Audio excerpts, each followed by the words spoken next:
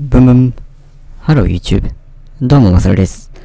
今回は今年発売されると噂されている廉価版の iPhone X の価格についてご紹介したいと思います。その価格ですが、日本円にして7万5千円から8万5千円の間になるとのことです。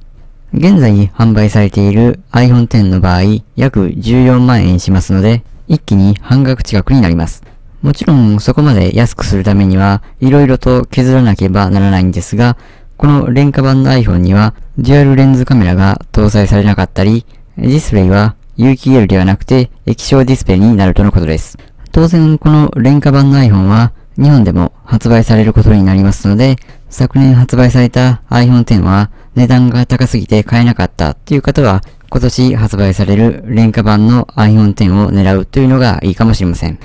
また、この廉価版の iPhone X について新しい情報を入手しましたら、別の動画にてご紹介したいと思います。